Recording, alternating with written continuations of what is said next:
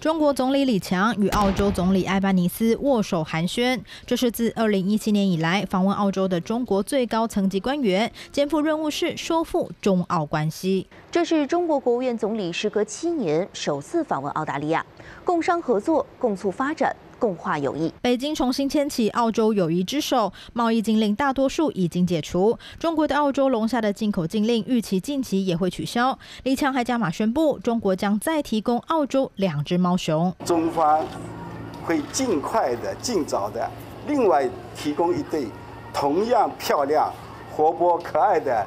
呃，年轻一点的熊猫。分析认为，李强出访除了争取经贸合作、改善中国经济困境，也试图破解澳英美三方联盟 AUKUS 对中国的围堵。但破冰仍在试水温，尤其澳洲对中国军事威胁扩张，关切忧心，也讨论台海紧张情势。We oppose any unilateral changes to the status quo. The status quo is the best path for us to maintain peace and stability in the Indo-Pacific and in the world. We 澳洲外长受访表示，向李强重申反对片面改变台海现状。专家更指出，澳中两国对于期许目标有落差。即使恢复贸易和高层交流，但澳洲没有兴趣与中国深化科技合作。澳洲智库民调更显示，百分之五十三澳洲受访者认为中国是国安威胁而非经济伙伴。重修旧好的表面下，恐有更多暗潮汹涌。三立新闻全部报道。